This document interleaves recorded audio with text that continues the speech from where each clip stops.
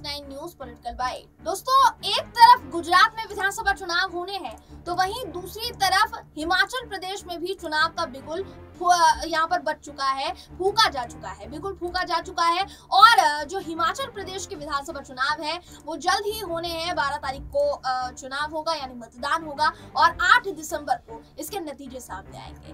लेकिन देखिए एक तरफ़ जहाँ गुजरात में कहा जा रहा था कि कांग्रेस धरातल पर कहीं नज़र नहीं आ रही, वहीं दूसरी तरफ़ हिमाचल को लेकर कहा जा रहा था कि वहाँ, क्योंकि प्रियंका गांधी वाड्रा खुद उतरी है चुनाव प्रचार के लिए तो हो सकता है कि कांग्रेस के रुझानों में थोड़ा बदलाव देखने को मिले। लेकिन यहाँ जिस तरीके की तस्वीरें दोस्तों सामने आ रही है हिमाचल प्रदेश से, वो कांग्रेस के लिए झटका देने वाली तस्वीरें हैं। क्योंकि कांग्रेस की महिला कार्यकर्ताओं ने सीधे तौर पर कांग्रेस से बगावत के संकेत दिए हैं। दोस्तों, कांग्रेस की महिला कार्यकर्ता जितनी भी थी, वो निर्मला सीतारमन के साथ सेल्फी लेती हुई नज़र आई।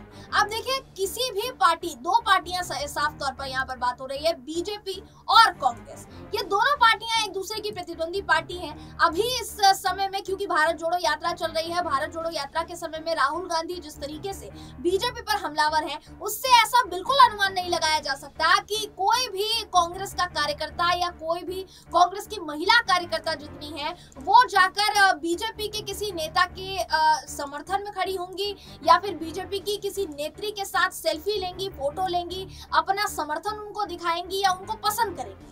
ये तमाम तरीके के सवाल अगर यहाँ पर खड़े हो रहे हैं दोस्तों तो साफ़ तौर पर ये कांग्रेस के लिए चिंताजनक विषय है कि उनकी महिला कार्यकर्ता है जितनी है, कार्यकर्ता है वो निर्मला सीतारमन के साथ सेल्फी खींचती हुई नज़र आ रही है जो अपने आप में बहुत ज़्यादा चौंकाने वाली बात है। अब देखिए हिमाचल प्रदेश के विधानसभा चुनाव पर इसका कितना असर पड़ता है। और आगे जाकर आ, ये जो समीकरण है ये कांग्रेस की जीत में तब्दील होंगे या हार में ये देखना होगा दोस्तों। बहरहाल इस खबर पर आपकी राय क्या है कमेंट करके ज़रूर बताइएगा। वीडियो अगर आपको पसंद आया हो तो वीडियो को लाइक और शेयर करना ना भूलें।